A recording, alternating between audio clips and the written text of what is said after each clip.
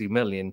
But even then, I'm like, for 60 million, we're going to lose a very critical piece of Pochettino's plan, and and that is not not you can't put a price on that. That is priceless for me, and so I'm against it. I'm firmly against it. And if Boehly and the ownership group end up doing this, then I think that's a big, big fu to the fans and to Pochettino.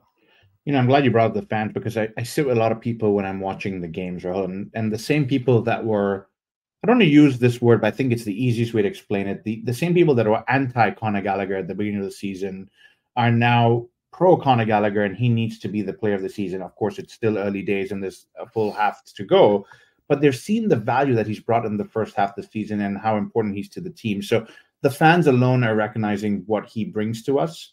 And from from a midfield standpoint, Rahul, you brought up some key points in. Sure, now we have Lavia and Ugochukwu, but we're already a very young team, and we're